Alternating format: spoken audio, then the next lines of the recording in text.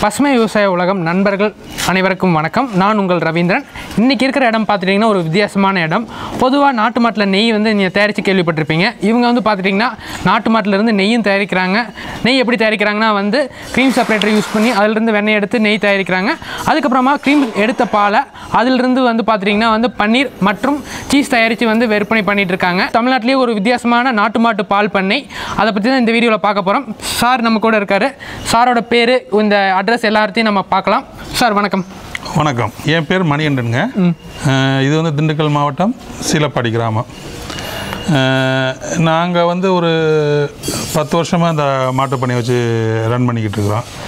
ஆரம்பத்தில் நாங்கள் வந்து இந்த கலப்பு மாடு இந்த ஹெச்எப்பு ஜெர்சி இதை வச்சு நாங்கள் வந்து மெயின்டைன் பண்ணிக்கிட்டு இருந்தோம் Okay. காலப்போக்கில் இந்த நாட்டு மாடு பண்ணா என்ன அப்படிங்கிற மாதிரி ஒரு மனசுக்குள்ள ஒரு எண்ணம் இருந்தது. ஓகே அப்போ தான் வந்து இந்த குழந்தை நாங்கள் வந்து மெயினாக வந்து பால் சப்ளை ஃபுல்லாக பக்கத்தில் எங்கள் நண்பருடைய ஸ்கூலுக்கு வந்து வேண்டியவங்க ஸ்கூலுக்கு நாங்கள் வந்து கொடுத்துக்கிட்டு இருக்கிறோம். ஓகே அப்போ அந்த குழந்தைங்களுக்கும் ஒரு ஹெல்த்தியான ஒரு இதை கொடுத்தது மாதிரி ஆச்சு.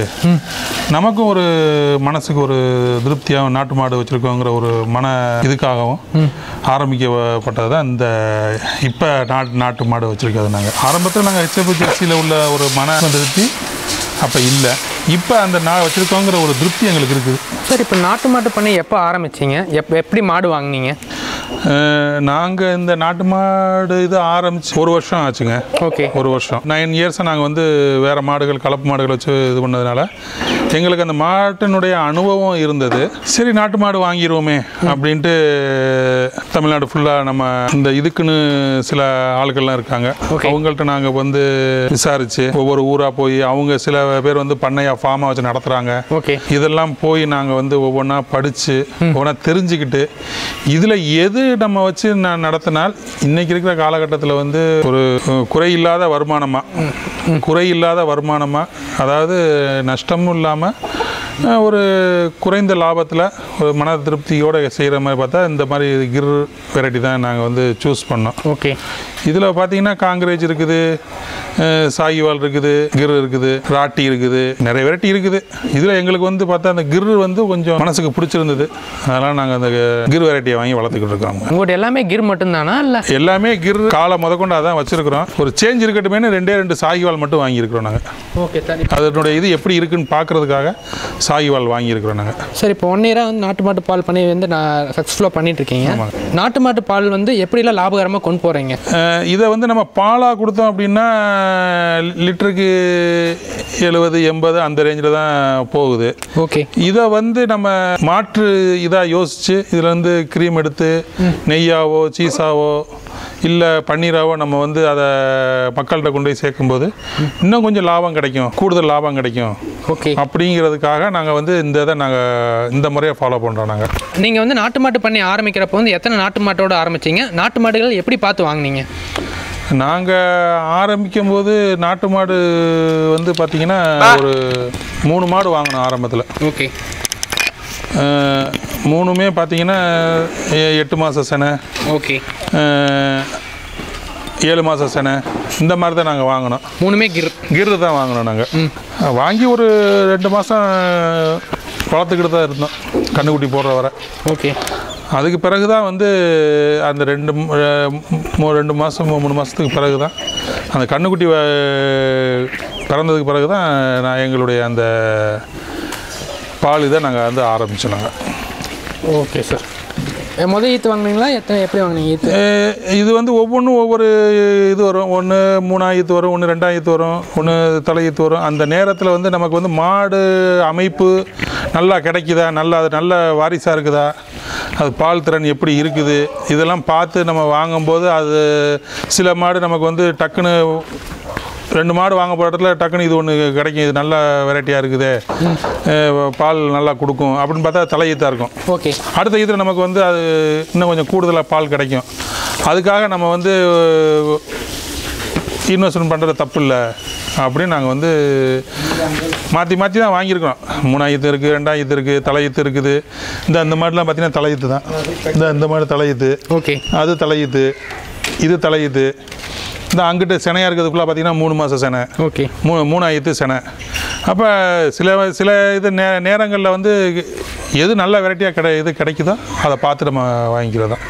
ஓகே சார் இப்போ வந்து பண்ணை அமைப்பில் வந்து பார்த்துட்டிங்கன்னா வந்து நீங்கள் க்ளீன் பண்ணுறதுல என்னென்ன பண்ணுறீங்க நாங்கள் பண்ணை அமைப்புன்னு பார்த்தீங்கன்னா நாங்கள் வந்து மாடுகளுக்கு வந்து ஷெட்டு போட்டிருக்கோம். ஓகே ஷெட்டில் வந்து பார்த்தீங்கன்னா அந்த மாடு வந்து நிற்கிறதுக்கு பார்த்தீங்கன்னா இந்த தரை நாங்கள் சிமெண்ட் தரை தான் போட்டிருக்கிறோம். ஓகே பட் ஆனால் வந்து கொஞ்சம் காலம் என்ன ஆகும் அப்படின்னா அந்த சிமெண்ட் தரை வந்து யூஸ் பண்ண யூஸ் பண்ண அதை மிஷினை வச்சு கழுவ கழுவ அந்த சொரசொரப்பு தன்மை போய் வலுவழுப்பு தன்மை ஆகி போயிடுது.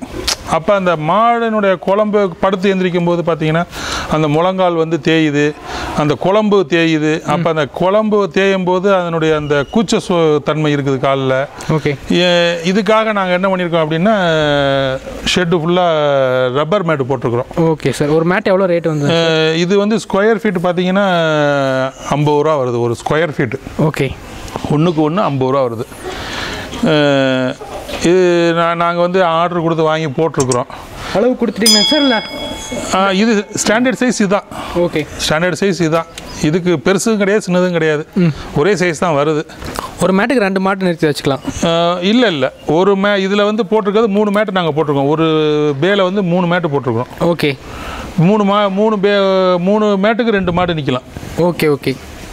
மூணு இதுக்கு ரெண்டு மாடு நிற்கலாம் அதாவது நல்லா ஃப்ரீயாக நிற்கணும் அப்படின்னா ஹைட்டாக நிற்கணும் அப்படின்னா ரெண்டு இதுக்கு மூணு மாடு நிற்கலாம் ஓகே ஓகே சார். ரெண்டு பக்கம் மாறி மாறி மாறி மாறி. சார் மேட்டுக்கு இடையில வந்து ஸ்பேஸ் விட்டு தான் ஆகணுமா? இல்லை அப்படிலாம் ஆகும் அப்படி தேவையில்லை. இது நாங்கள் வந்து ஷெட்டு முன்னாடியே போட்டுட்டோம். இந்த இதுக்கு மேட்டு சரியாக ஃபிக்ஸ் ஆகுறது மாதிரி இந்த இடத்துல எங்களுக்கு வந்து அமைப்பு இல்லை. தூண் வந்து இடையில இருக்கிற தூண் இடையில இருக்கிறதுனால வந்து நாங்கள் கேப் விட்டு நாங்கள் போட்டிருக்கோம் ஓகே. இதே ஆப்போசிட் சைடு அந்த சைடு பார்த்தா ஒரே ஸ்ட்ரெச் ஒரே நீளமாக தான் இருக்கும். ஓகே. இந்த சைடு வந்து அந்த இது கொஞ்சம் கம்மியாக இருக்கிறதுனால அந்த தூணுடைய டிஸ்டன்ஸ் வந்து நடுவில் இதாகிடுது ஓகே சார் அதனால வந்து ஃபுல்லாக போட முடியல. ஃபுல்லாக போட முடியல. அதனால ஓகே ஓகே இப்போ நாங்கள் அடுத்து இன்னும் இது இதுக்காகவே நாங்கள் இன்னொரு ஒரு இது ரெடி பண்ணிக்கிட்டு இருக்கோம். ஷெட் ரெடி பண்ணிக்கிட்டு இருக்கோம். அது இந்த எல்லாமே இது இதோ இதோட இன்னும் அட்வான்டேஜோட நாங்கள் ரெடி பண்ணிட்டு இருக்கோம். க்ளீன் பண்ணுறதுல வந்து மேனுவலாங்க சார் மேனுவலாக நாங்கள் வந்து சாணாடுறது இது எல்லாமே மேனுவலாக இது பண்ணுறோம் வாஷ் பண்ணுறது நாங்கள் மோட்ரு வச்சு கம்ப்ரஸர் வச்சு எல்லாமே வாஷ் பண்ணுறது அந்த இதுக்கு மிஷின் வச்சு நாங்கள் யூஸ் பண்ணுறோம் சாணியை இப்போ இதுலேருந்து நாங்கள் எடுக்கிற சாணத்தை வந்து நாங்கள் வந்து பயோகேஸுக்கு கொண்டு போயிடுவோம் அப்படியே. பயோகேஸில் கொண்டு போய் அதை க கலக்கி அதில் இருந்து வர்ற கழிவுகளை வந்து நாங்கள் வந்து டிராக்டரில் ஏற்றி திருப்பி மா மாட்டுக்கு தீவன புல்லுக்கு நாங்கள் உரமாக ஆக்கிடுறோம் அந்த இதை. அதனால் எங்களுக்கு வந்து அந்த இதுலேருந்து எந்த விதமான கழிவுகள் நாங்கள் வந்து வேஸ்ட் பண்ணுறதில்ல வேஸ்ட் ஆகிற எதுவுமே விடுறதில்ல. ஓகே சார் தீவன புல் என்னென்ன போட்டிருக்கீங்க? தீவன புல்லுன்னு பார்த்தீங்கன்னா சவுண்டல் சூப்பர் நேப்பியர் ஓகே. குதிரைவாளி போட்டிருக்கோம் இது வந்து பசுந்தீவனமாக நாங்கள் வந்து கொடுத்துக்கிட்டு இருக்கிறோம். எத்தனை ஏக்கரில் போட்டிருக்கீங்க சார்? ஒரு நாலு ஏக்கரில் போட்டிருக்கிறோம். ஓகே. எங்கள்கிட்ட வந்து ஆடு மாடு இதெல்லாம் இருக்கிறனால ஒரு நாலு ஏக்கரில் போட்டிருக்கிறோம். இது போக வைக்கோல் போட்டு வை- வைக்கோல் கொடுக்குறோம். உலர் தீவனமாக அடர் தீவனமாக நாங்களே வந்து ப்ரிப்ரேஷன் பண்ணி மக்காச்சோளம் கடலை புண்ணாக்கு வெள்ளை சோளம் கம்பு வெள்ளை பச்சரிசி தவிடு கோதுமை தவிடு இது எல்லாமே வந்து தாது உப்பு சால்ட்டு நார்மல் உப்பு இது எல்லாமே மிக்ஸ் பண்ணி நாங்களே ரேஷியோவில் மிக்ஸ் பண்ணி எங்களுடைய டாக்டருடைய ஆலோசனையில் அதை மிக்ஸ் பண்ணி நாங்கள் வந்து மாடுகளுக்கு ரெண்டு நேரமும் கொடுத்துக்கிட்டு இருக்கிறோம் நாங்கள் மாட்டுப்பண்ணைக்கான செலவு நீங்கள் எப்படி எப்படிலாம் குறைச்சிருக்கீங்க? எப்படி எப்படிலாம் செலவு அதிகமாக அதிகமாக இருந்தது? அதாவது ஆரம்பத்தில் பார்த்தீங்கன்னா நம்ம வெளியிலேருந்து வைக்கோல் வாங்கி போட்டுக்கிட்டே இருந்தோம் அப்படின்னா வந்து அது வந்து ஏன்னா காசு கொடுத்தா வாங்கி ஆகணும் வைக்கோல்லாம். பசுந்தீவனம் அப்படின்னு பார்க்கும்போது பசுந்தீவனத்தில் நீங்கள் வந்து காசை கொஞ்சம் அதில் கொஞ்சம் இது பண்ண முடியும் மிச்சப்படுத்த முடியும். ரெண்டாவது கடைகளில் இது பண்ணுற அடர் தீவனத்தை நீங்கள் வாங்கினோம்னால் நமக்கு வந்து அதிகமான செலவு தான் நம். நம்மளே வந்து அதை அரைச்சி அந்த ரேஷியோவில் நம்ம செஞ்சோம் அப்படின்னா கொஞ்சத்துக்கு கொஞ்சம் மிச்சப்படுத்தலாம் தீவன செலவில் மற்றபடி பசுந்தீவனத்தை வந்து பசுந்தீவனம் நம்மளை வந்து எந்த அளவுக்கு நம்ம அதை வந்து உற்பத்தி பண்ணுறோமோ அந்த அளவுக்கு நமக்கு வந்து அதுதான் நம்மளை வந்து செலவு ஜீரோ பேலன்ஸ் செலவுகளை வந்து குறைச்சி காமிக்க முடியும். Okay sir. சார் இப்போ அதோட கழிவு வச்சு நீங்கள் மதிப்பு கூட்டி என்னென்னலாம் பண்ணுறீங்க இப்போ பாலை வந்து பன்னீர் சீஸ் அதுக்கப்புறம் நெய் பா மாற்றுறீங்க இப்போ இந்த நாங்கள் வந்து இப்போ இந்த நாட்டு மா இந்த மாட்டு சாணத்தை எடுத்துகிட்டு போய் நாங்கள் பயோகேஸில் போட்டு ஒரு வகையில் வந்து புல்லுக்கு நாங்கள் யூஸ் பண்ணுறோம் ஓகே. இன்னொன்று வந்து பஞ்சகாவியம்னு ஒன்று தயார் பண்ணுறோம் ஓகே. இன்னொன்று வந்து அந்த அடுத்த இது எங்களுக்கு வந்து இந்த சாணத்தை வந்து விபூதி ஆக்கலாம் அப்படிங்கிற ஒரு இதை வந்து நாங்கள் வந்து அனலைஸ் பண்ணிக்கிட்டு இருக்கோம். அது எப்படி அது செய்யலாம் அப்படிங்கிறத நாங்கள் வந்து யோசித்து அது நடைமுறை நம்மளால் முடியுமா அப்படிங்கிறத. ஏன்னா மாடு இருக்குது நாட்டு மாடு இருக்குது நாட்டு சா மாட்டு சாணம் இருக்குது. இதை வச்சு நம்ம ஏன் செய்ய கூடாது அப்படிங்கிற ஒரு ஐடியா இருக்குது. அதை செய்யலாங்கிற எண்ணமும் இருக்குது எங்களுக்கு. இப்போ உங்ககிட்ட எத்தனை வட இந்திய நாட்டு மாடுகள் இருக்குது எங்கள்கிட்ட பார்த்தீங்கன்னா ஒரு பதினஞ்சு நாட்டு மாடு பக்கத்தில் இருக்குது. அதில் அதில் இருந்து சில ஒரு பத்து மாடு பக்கத்தில் சினையாக இருக்குது. ஓகே. ஒரு பதினஞ்சு பதினாறு மாடு இருக்குது. ஒரு ஆறு மாடு பக்கத்தில் இப்போ பால் கறவை இருக்குது. பால் கறந்துக்கிட்டு இருக்குது. இந்த ஆறு மாடும் பார்த்தீங்கன்னா ஒரு நாளைக்கு ஒரு நேரத்துக்கு எங்களுக்கு வந்து பார்த்தீங்கன்னா ஒரு முப்பது லிட்டர் வரை முப்பது முப்பத்தஞ்சு லிட்டர் வரை எங்களுக்கு பால் வந்துக்கிட்டு இருக்கு ஒரு நேரத்துக்கு. ஓகே. இதை நாங்கள் வந்து மதிப்பு கூட்டல் முறையில் சீஸு நெய் பன்னீர் இந்த மாதிரி நாங்கள் செஞ்சுக்கிட்டு இருக்கிறோம். அடுத்தடுத்து வரும்போது அடுத்து என்ன செய்யலாம் அப்படிங்கிறதையும் நாங்கள் வந்து அதில் என்ன செய்யலாங்கிறதையும் நாங்கள் வந்து யோசிச்சுக்கிட்டு இருக்கிறோம் நாங்கள் சார் இன்னை இன்னைக்கு தேதியில் வந்து உங்கள்கிட்ட டெய்லி பால் உற்பத்தி எவ்வளோ? இப்போ நாட்டு மாடு பால் பார்த்தீங்கன்னா எங்களுக்கு வந்து ஒரு முப்பது அவரேஜ் பார்த்தோம்னா ஒரு இரு இருபத்தஞ்சு டு முப்பது அந்த ரேஞ்சுக்குள்ளே எங்களுக்கு வந்து ஒரு நாளைக்கு உற்பத்தி ஆகிட்டு இருக்கு.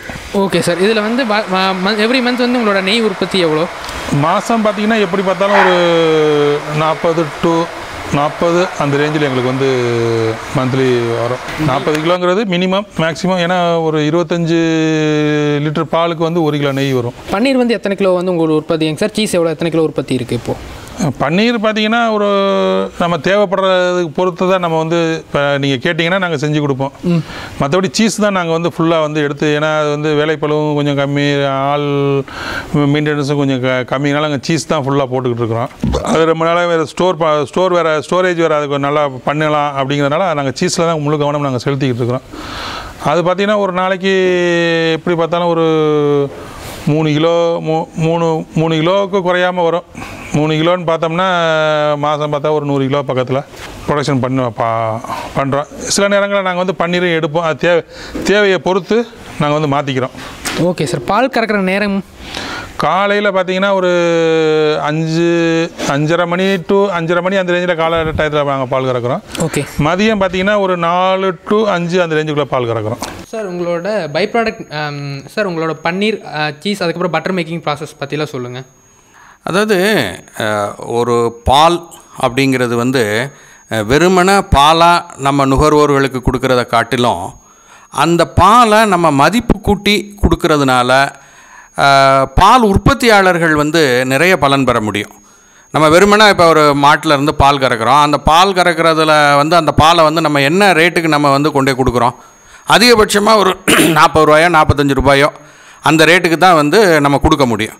ஆனால் அதே இதை நீங்கள் வந்து மதிப்பு கூட்டி அதாவது நெய்யாவோ பனீராவோ சீஸாவோ அல்லது தயிரோ மோரோ ஏதோ ஒரு விதத்தில் அந்த பொருளை மதிப்பு கூட்டி நீங்கள் வந்து நுகர்வோர்களுக்கு கொண்டு செலுத் கொண்டு போய் கொடுக்கும்போது உங்களுக்கு கூடுதல் லாபம் நமக்கு கிடைக்கும்.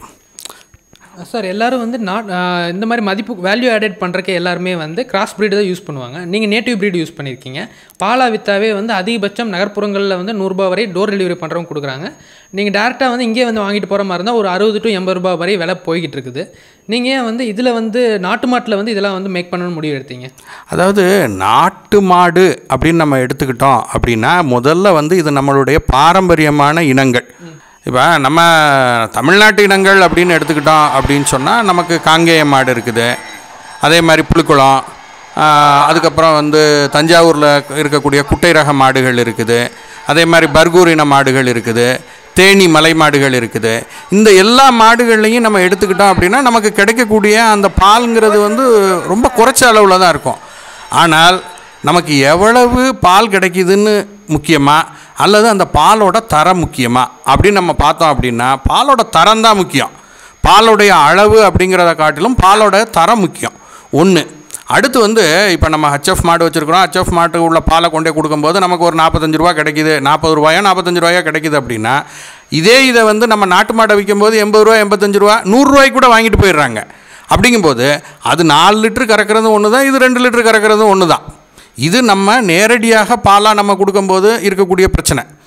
ஆனால் இதே இதை நம்ம வந்து மதிப்பு கூட்டி விற்கிறோம் இப்போ மதிப்பு கூட்டி விற்கும்போது ஒரு லிட்டர் நெய் சாதாரணமாக வந்து ஆவினில் வந்து ஒரு ஐநூறுரூபா ஐநூற்றம்பது ரூபா வரைக்கும் கொடுக்குறாங்கன்னு நான் நினைக்கிறேன். ஆனால் இதே இது நம்ம ஹச்எஃப் மாடு வீடுகளில் நம்ம பார்த்தோம் அப்படின்னு சொன்னால் ஒரு அறநூறு அறநூற்றம்பது வரைக்கும் கொடுக்குறாங்க. நல்லா இது.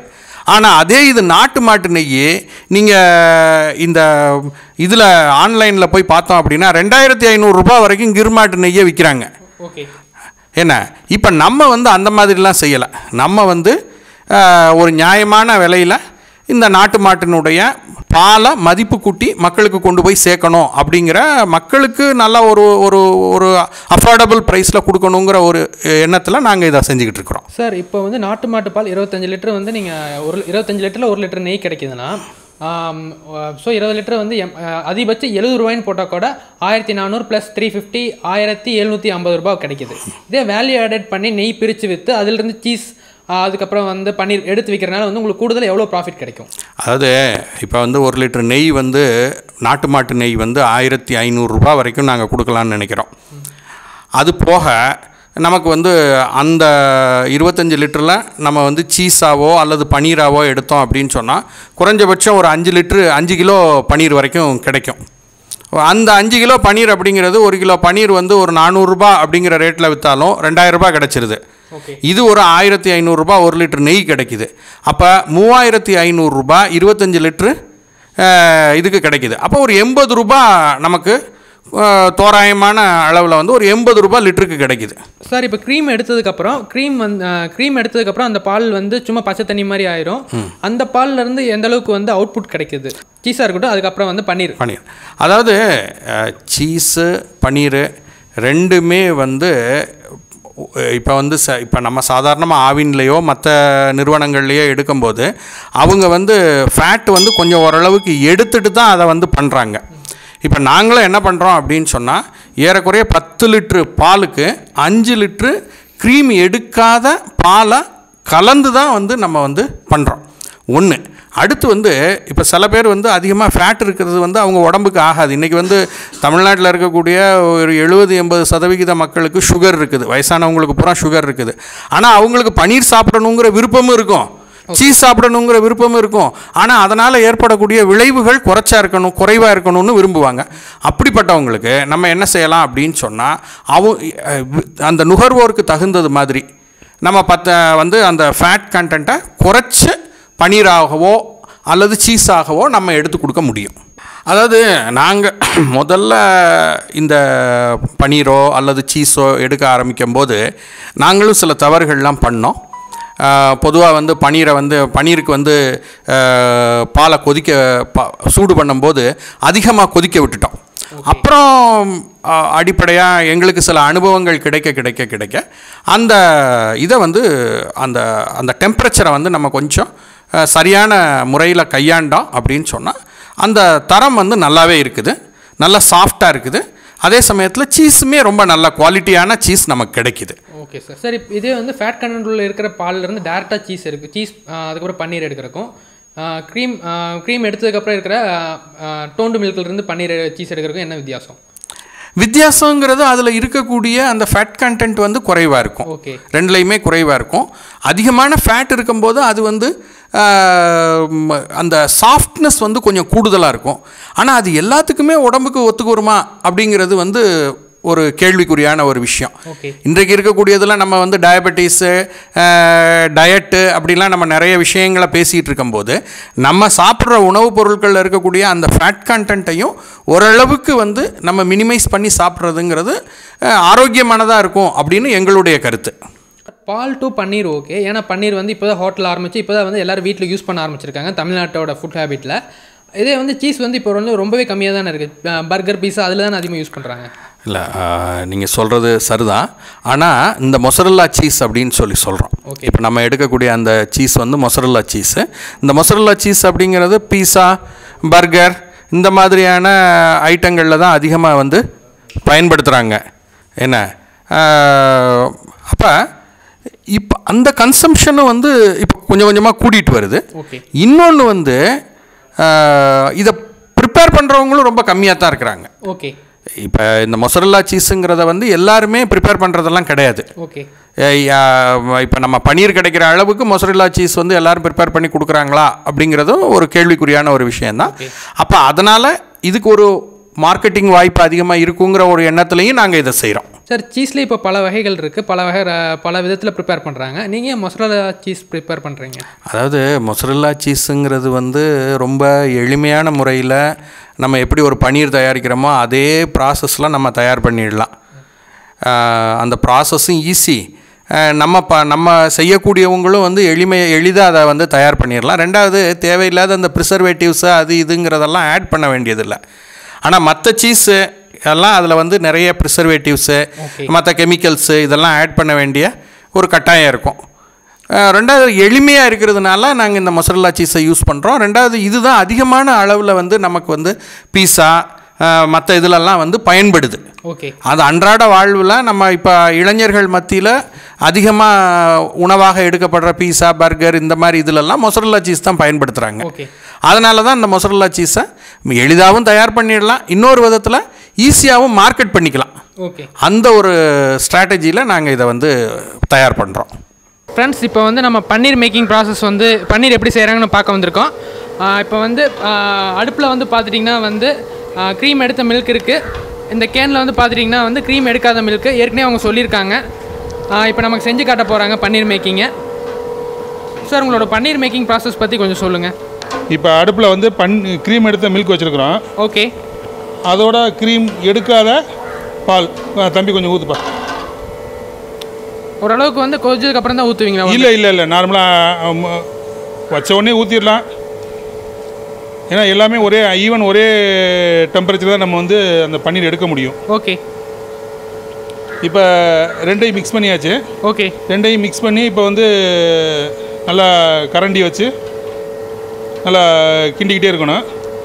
ஏன் கிண்டுறோம் அப்படின்னா கீழே எதுவும் அடி இடி பிடிச்சிச்சின்னா அந்த இது வந்து அந்த பன்னீரில் வந்து கருப்பு கருப்பாக வரும். அதுக்காக அடி பிடிக்காத அளவுக்கு நம்ம பாலை வந்து கிண்டிக்கிட்டே இருக்கணும்.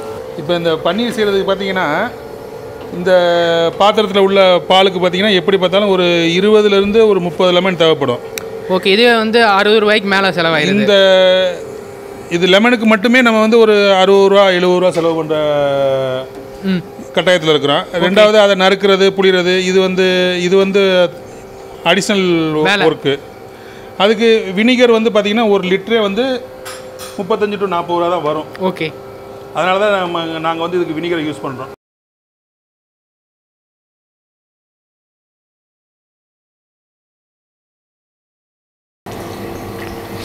இப்போ பாருங்கள் பால் கொஞ்சம் கொஞ்சமாக திரிஞ்சு வருது பாருங்கள் ம், திரிஞ்சு வந்துருச்சு. நீ வினிகர் தேவையில்லை. இனி வினிகர் தேவையில்லை. இப்போ பாருங்கள் பார்த்தீங்கன்னா ஒரு டூ ஃபிஃப்டி எம்எல் நமக்கு இப்போ செலவாயிருக்குது. பார்த்தீங்கன்னா ஒரு பத்து ரூபா. இதுக்கு செலவு ப பத்து ரூபா தான் ஆயிருக்குது. இந்த பண்ணி ரெடி ஆயிருச்சு. இனி நம்ம இதை வந்து இறக்கி ஒரு ரெண்டு நிமிஷம் வச்சுருந்துட்டு அதை இந்த வடிகட்டுறதுல ஊற்றி வடிகட்டுறது மட்டும்தான் அதில் நம்ம அடுத்த வேலை.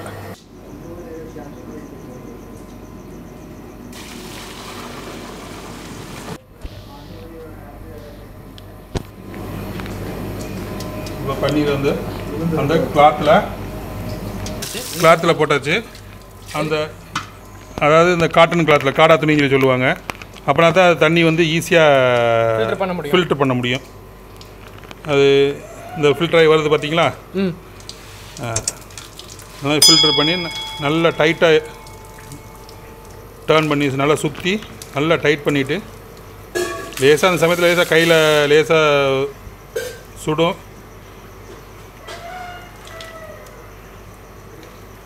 அப்படின்னா தான் நமக்கு வந்து அந்த ஒரு அந்த என்ன சொல்கிறது அந்த கெட்டியாக இருக்கிறது.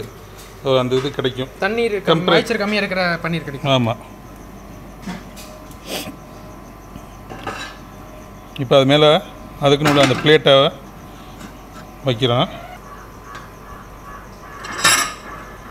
இது வந்து பார்த்திங்கன்னா அந்த தண்ணியை வந்து அதில் உள்ள உள்ள சே இதாக இருக்க சேர்ந்துருக்க தண்ணியெல்லாம் ப்ரெஷர் பண்ணி வெளியாக்குறதுக்காக இந்த இதை வச்சு ப்ரெஷர் கொடுக்குறது. இல்லை அப்படின்னா தண்ணி வந்து உள்ளே இருந்துச்சு அப்படின்னா நமக்கு தெரியாமல் உள்ளே இருக்கும். லைஃப் வந்து குறைவா லைஃப் அதனுடைய லைஃப் குறையும். ஓகே இப்போ நம்ம வந்து அதை ஃபுல்லாக ப்ர ப்ரெஸ் பண்ணி வச்சாச்சு. இது வந்து இன்னும் ஒரு ஒன் ஹவராவது இப்படி இருந்தால் தான் தண்ணி வந்து நல்லா ஃபுல்லாக ஃபில்டர் ஆகும் ஓகே எடுங்க இப்போ மற்ற வேலையை கொடுத்துட்றாங்களா அவ்வளோதானா இப்போ நீங்கள் வந்து பார்க்குறது வந்து சீஸ் எப்படி செய்கிறதுங்கிறத உங்களுக்கு காமிக்கிறோம் பாத்திரம் பாத்திரத்தில் வந்து தேவையான அளவு சீஸ்க்கு தேவையான அளவு பால். பாலை ஊற்றி இதுலேயும் அந்த க்ரீம் எடுக்காத பாலும் சேர்த்தும் பண்ணலாம் சேர்க்காமலும் பண்ணலாம். அது நமக்கு தேவையை பொறுத்து. அதே மாதிரி ஹார்டு வந்து ஹார்ட்னஸ் அதை அதை பொறுத்து தான் இருக்குது ஆமாம் க்ரீம் எடுத்த பால் இப்போ சேர்த்தோம்னா கொஞ்சம் ஃப்ளெக்சிபிளாக இருக்கும். இப்போ பாருங்கள் க்ரீ க்ரீம் எடுத்த பால் இதில் சேர்க்குறோம். சேர்த்தாச்சு. இதில் பார்த்தீங்கன்னா ரொம்ப ரொம்ப ஈஸியானது இந்த சீஸ் எடுக்கிறது மட்டும்தான். பன்னீர் எடுக்கிறது கூட கொஞ்சம் இதுக்கு அடுத்த ஸ்டேஜுக்கு தான் ஹீட்டு அதிகமாக செலவாகும். ஃபியூவல் அதிகமாக செலவாகும் டைமிங் இதுக்கு அடுத்த ஸ்டேஜ் தான் பன்னீர். ஆனால் சீஸ் வந்து பார்த்தீங்கன்னா ஒரு மிஞ்சி மிஞ்சி ஒரு அஞ்சு நிமிஷத்தில் அஞ்சு இப்போ அஞ்சு நிமிஷம் பத்து நிமிஷத்துக்குள்ளே ரெடி ஆகி ரெடி ஆகிடும் இப்போ பார்த்தீங்கன்னா இப்போ சீஸ் வந்து பால் ரெடி ஆயிருச்சு. இப்போ அந்த இதோட இப்போ நாங்கள் வந்து வினிகரை வந்து சேர்க்குறோம். அது முதல்ல நம்ம பன்னீருக்கு பார்த்தோம் பார்த்தீங்களா அதே மாதிரி இதுக்கும் கொஞ்சம் கொஞ்சமாக தான் வினிகரை ஆட் பண்ணணும். ஓகே பன்னீருக்கு வந்து பால் பொங்க வரக்கு முன்னாடி இருக்கிற ஸ்டேஜில் வந்து பன்னீர் ஊற்று வினிகர் ஊற்றணும் இப்போ இதுக்கு வந்து அவ்வளவு டைம் தேவையில்லை. ஓகே. அதாவது நம்ம நம்மளுடைய விரல் வந்து வச்சோம்னா தாங்கக்கூடிய அளவுக்கு சூடு அந்த இதான் அதுக்கு டைமிங் ஓகே. சீஸுக்கு. அதுக்கு கொஞ்சம் கூடுச்சு அப்படின்னா அந்த சீஸ் வந்து அந்த பக்குவத்துக்கு வராது. ஓகே. இப்போ பார்த்தீங்கன்னா நல்லா அந்த பால் வந்து பிரிஞ்சு அந்த ஒரு மாவு பிசைஞ்சோம்னா எப்படி ஒரு இதோட வரும்? அந்த மாதிரி வந்து அப்படியே சேர்ந்து வருது பாருங்கள்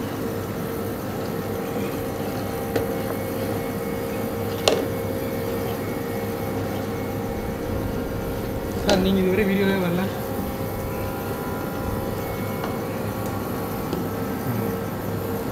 இப்போ இப்போ இப்போ காமி இப்போ காமி இது பார்த்திங்கன்னா ஜவு மிட்டாய் மாதிரி அப்படியே இருக்கும்.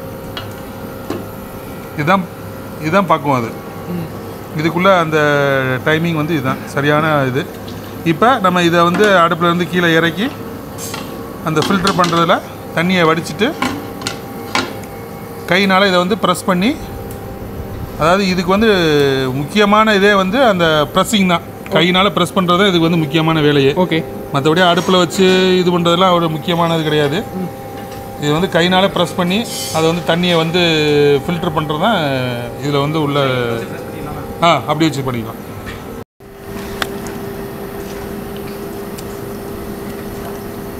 நல்லா பிரித்து பிரித்து அந்த தண்ணியை நல்லா புளியணும்.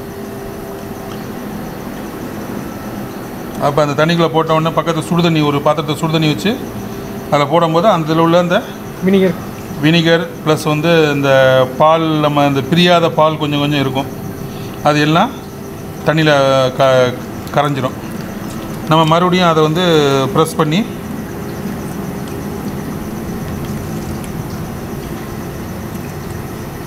நம்ம கை சூடு எந்த அளவுக்கு தாங்குமோ அந்த அளவுக்கு ப்ரெஸ் பண்ணிக்கிட்டே இருக்கணும். நம்ம எந்த அளவுக்கு ப்ரெஸ் பண்ணுறோமோ அந்த அளவுக்கு தண்ணியை கீழே பிளேட்டில் தண்ணி கீழே ஊற்றிக்கப்பா இப்போ சூடான சீஸ் ரெடி இதை நம்ம வந்து ஃப்ரீ ஃப்ரீசரில் போட்டோம்னா இது ஒரு நாலு மாதம் அஞ்சு மாதத்துக்கு அது பாட்டு பேசாமல் இருக்கும். தேவைப்படும் போது அதை எடுத்து கஸ்டமர் தேவை நமக்கு தேவையான நம்ம எடுத்து யூஸ் பண்ணிக்கலாம். என்ன வேணாலும் பண்ணிக்கலாம். சார் இப்போ உங்ககிட்ட நெய் சீஸ் பன்னீர் இதெல்லாம் வாங்குற மாதிரி இருந்தால் எப்படி காண்டாக்ட் பண்ணுறது நெய் வந்து நீங்கள் தமிழ்நாடு ஃபுல்லாக கொரியர் அனுப்புவீங்களா? ஆ கண்டிப்பாக நான் வந்து தமிழ்நாடு ஃபுல்லாக கொரியர் பண்ணுறதுக்கு நாங்கள் தயாராக இருக்கிறோம். வாடிக்கையாளர்களை பொறுத்து வாடிக்கையாளர்களுடைய தேவைகளை பொறுத்து நாங்கள் கொடுக்கலான்னு இருக்கிறோம். எங்களை தொடர்பு கொள்ள வேண்டிய இது வந்து நாங்கள் வந்து ஸ்க்ரீனில் நாங்கள் கொடுக்குறோம். அந்த நம்பரை நீங்கள் வந்து தொடர்பு கொள்ளுங்கள் அந்த நம்பரை நீங்கள் ஃபாலோ பண்ணிங்கன்னா நாங்கள் அதுக்கு உள்ள செஞ்சு கொடுக்குறோம். சீஸ் பன்னீர்லாம் வந்து விட்டுக்காக தான் அனுப்ப முடியும். தமிழ்நாடு ஃபுல்லாக அதை கொரியர் பண்ண முடியும். பண்ண முடியாது. பக்கத்தில் லோக்கலில் தான். லோக்கலில் தான் பண்ண முடியும். ஏன்னா இங்கேருந்து அதாவது ஒன் ஹவர் டூ ஹவர்ஸுக்குள்ளே அது ரீச் ஆகிற மாதிரி இருக்கணும். பண்ணணுன்னா பண்ணலாம். கொஞ்சம் ரேட்டு ரேட் வைஸாக கொஞ்சம் கூட வரும். இப்போ சென்னைக்கு இங்கேருந்து பண்ணணும் அப்படின்னா ரவீந்திரனுக்கு செய்யணும் அப்படின்னா அதனுடைய காஸ்ட் எனக்கு நானூறுரூவா வருது அப்படின்னா கூட இரநூறுவா அதனுடைய தெர்மோகோல் பாக்ஸ் வாங்கணும் அதில் நான் ஐஸ் கியூப் போடணும் என்ன பஸ்ஸில் நான் கொடுத்து விடணும். ரொம்ப நன்றி சார் நிறைய தகவல் பகிர்ந்துக்கிட்டீங்க. நன்றி வணக்கம்.